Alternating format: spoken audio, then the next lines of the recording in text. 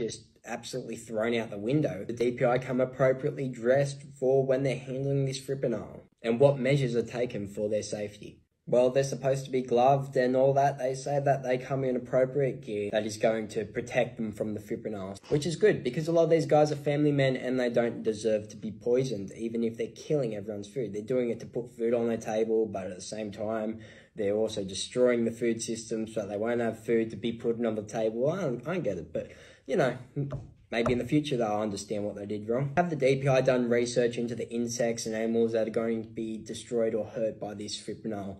By the looks of it, they probably would know, but it doesn't seem like they take that into account. And by plenty of research online and plenty of evidence, it is a factor that this fipronil is going to absolutely devastate our native population and our pollinators. Now we're on to the funding part. This gets interesting. Who is funding the DPI varroa mite response team? There is 16 bodies funding 20% of the response, and then you've got the Commonwealth funding the rest of it. It also looks like the people that are funding this are pretty heavily into the commercial side of all things, like the almond growers and the fruit orchards.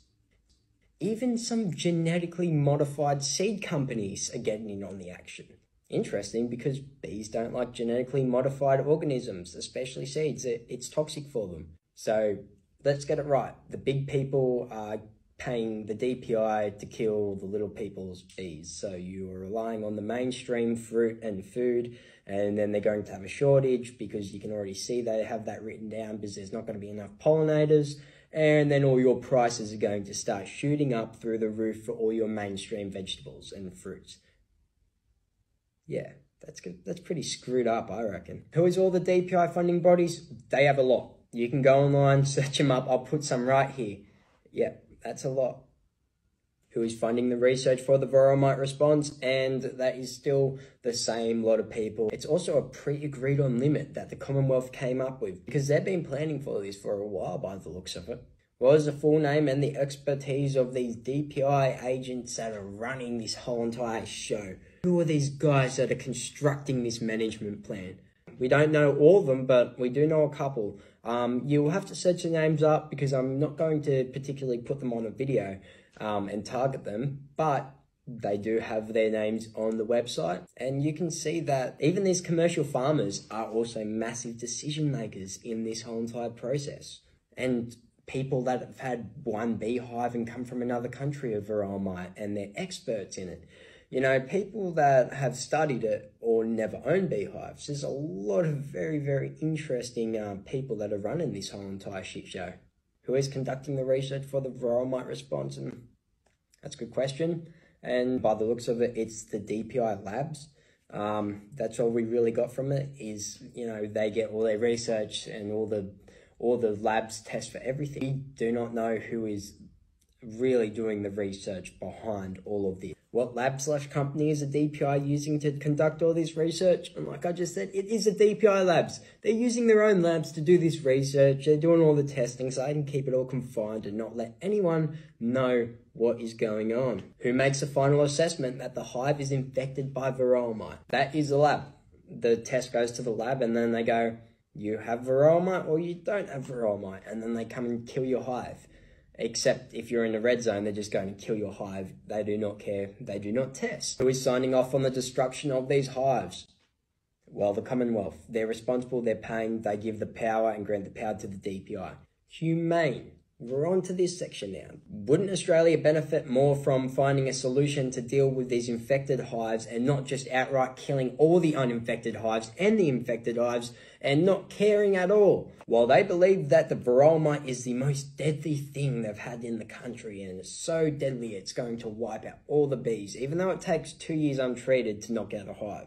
So, by their eyes, no, Australia would not benefit by everyone producing their own fruit, looking for management methods and you know, not killing hives that are in the middle of nowhere. But Australia will benefit from poisoning the native species and poisoning all the feral hives and outright killing a massive population of bees, especially when 45% of registered hives are in New South Wales. And they get shipped overseas for pollinating seasons. Not just Australia that's been affected here, it's going to be the world is inhumane that the bees are going to be sent to the red zone in Coffs Harbour to pollinate the blueberry farms and then be killed afterwards. Now, that was the case by the looks of it, but now it's not going to be the case. They just get a free pass. They're allowed their bees there. But the real question is when they start spraying their insecticides, they're actually going to have to take the bees off the property. So they really do get a free pass. The killing of the bees. Why have the DPI resorted to using petrol to kill these absolutely healthy and gorgeous hives?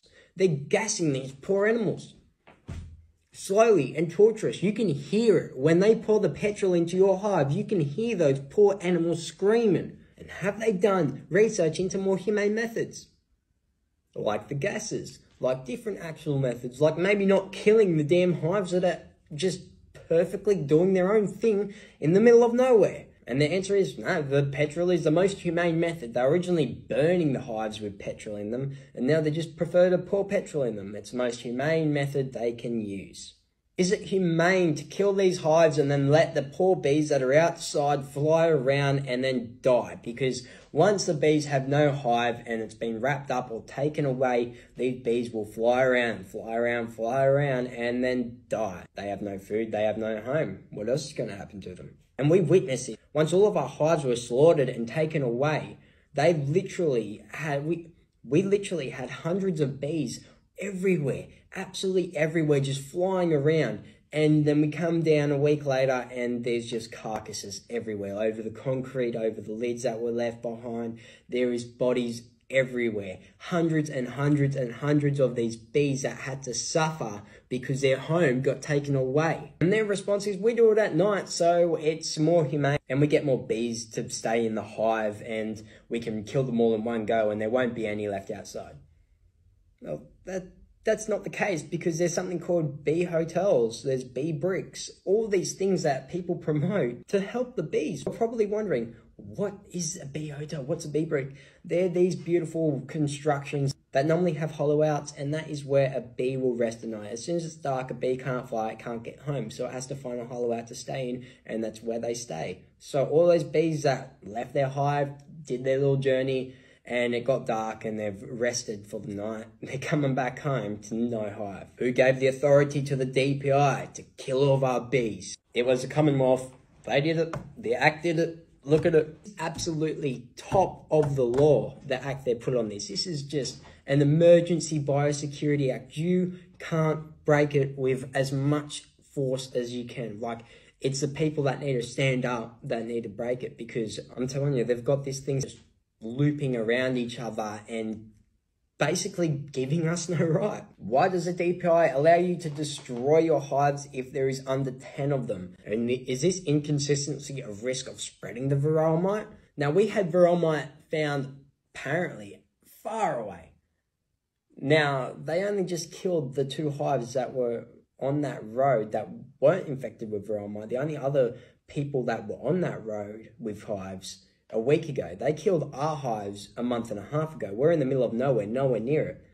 But, you know, that's the importance of it. And they say, oh, it has to be done, you know, and if the people want it done, we'll come in and do it. But other than that, you know, they're going to supply you with the stuff to pour petrol into your own hives and then they'll take it away for you or you can burn it yourself. But I mean the inconsistency. If they were so worried about the varroa mite, they would have consistently killed all the hives around the area. But there were so many cases of 10 hives left over here, 5 hives left over here, 3 hives left over here, all in red zones that were here for 6 months ago. And then they come and kill new areas. They're just absolutely bonkers, these guys.